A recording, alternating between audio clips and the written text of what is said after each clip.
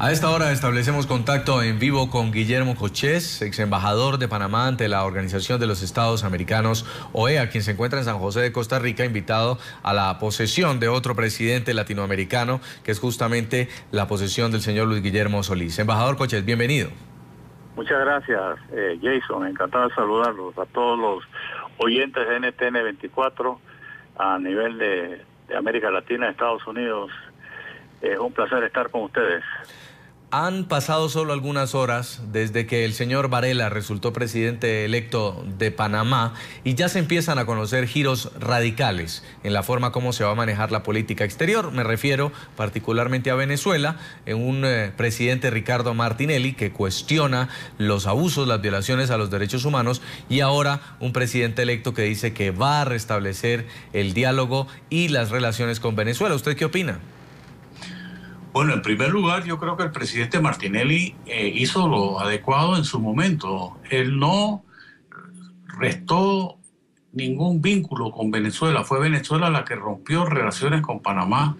Panamá tenía el derecho de solicitar, dada la situación en Venezuela, que se discutiera el tema de Venezuela en la OEA.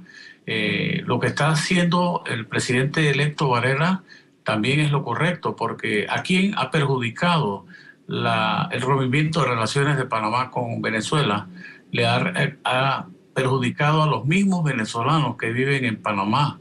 Venezuela, en lugar de tomar alguna acción contra Panamá, lo que hizo fue perjudicar a sus propios connacionales, a los que viven en Panamá, a los que están jubilados en Panamá, a los estudiantes venezolanos que estudian en Panamá, les cortó la posibilidad de tener de recibir sus remesas del Banco Central de, Venezuela de recibir lo que le corresponde a través del cambio para sus estudios y sus jubilaciones.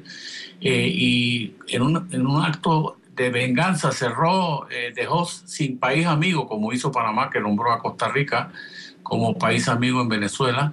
Eh, Maduro lo que hizo fue vengarse en los venezolanos. Yo creo que lo que está haciendo Varela es un acto de, de humanidad contra todos, a favor de todos aquellos venezolanos que viven en Panamá y que están sufriendo en carne propia el no recibir sus divisas, el no tener eh, posibilidad de, viajar, el recibir un trato diferencial de Panamá, porque Panamá les está exigiendo 500 dólares de, para demostrar que tienen solvencia y poder regresar a Venezuela.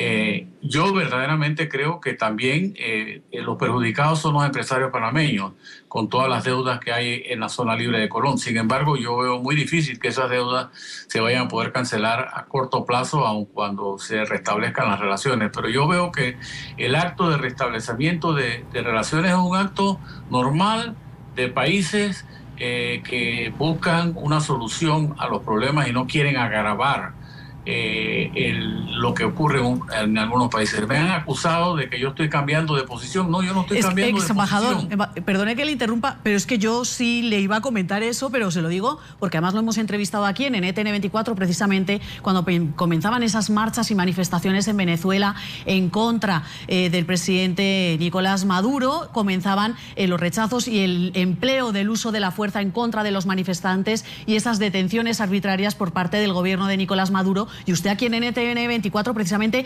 criticaba eh, la no presencia marcante de varios presidentes de la región que no se declaraban en contra de Nicolás Maduro y que no criticaban esas acciones y usted sí elogiaba por lo menos la posición de Panamá. Si hay un giro.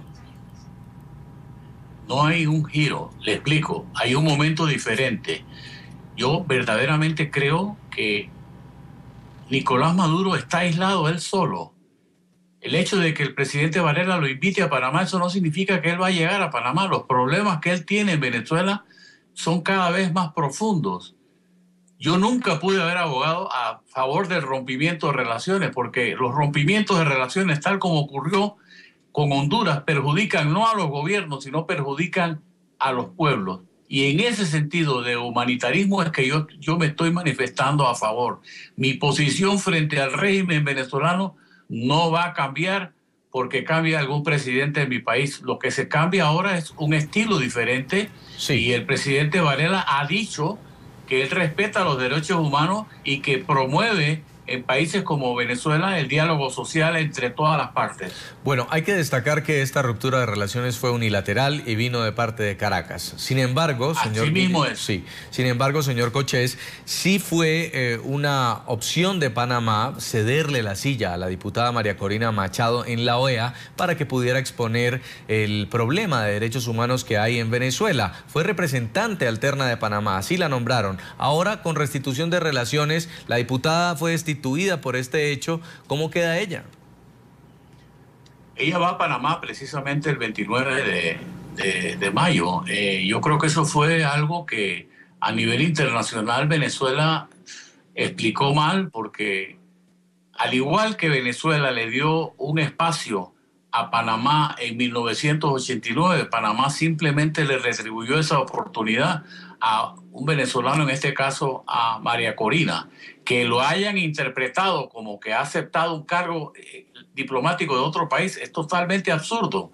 Recordemos que en Venezuela no hay leyes, recordemos que en Venezuela no hay división de poderes, que era algo en cierta forma que se criticaba en nuestro país.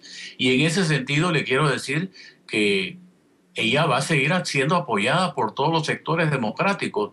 El presidente Juan Carlos Varela es una persona con antecedentes democráticos tan firmes como los míos. Se opuso a la dictadura militar desde joven y el partido que él representa hoy, el partido panameñista, es el, partido del doctor Arnulfo Arias, que fue expulsado del poder en 1968 por los militares. Así que en ese sentido yo concuerdo totalmente con sus principios democráticos y yo creo que él va a seguir luchando porque en Panamá y en el resto de América Latina impere la democracia.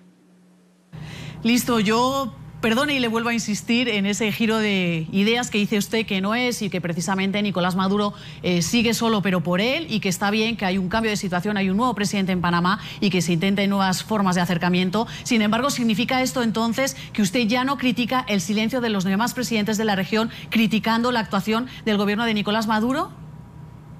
Mire, eh, yo creo que está usted hilando demasiado delgado.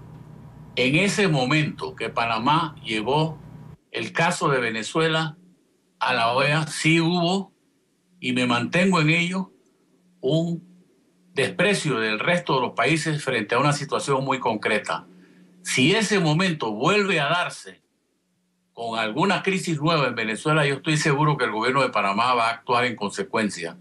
Cuando Panamá Ex embajador, embajador, pero entonces, perdone, le pido disculpas por volverle a interrumpir. ¿Significa eso que la situación que está viviendo Venezuela en este momento es diferente a la que se vivía hace tres meses? Es decir, el gobierno ha cambiado eh, su manera de actuar en contra de los manifestantes, de los jóvenes, de los venezolanos. Ya no se violan los derechos humanos, no hay gente encarcelada sin ninguna razón. ¿Eso es lo que está diciendo?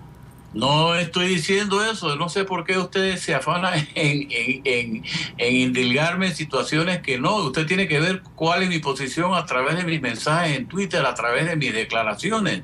Yo insisto que en Venezuela no hay una democracia y yo insisto que ojalá todos los países de América Latina pongan énfasis en exigir que Venezuela regrese al carril democrático. El hecho de un restablecimiento de relaciones no significa ni una cosa ni la otra.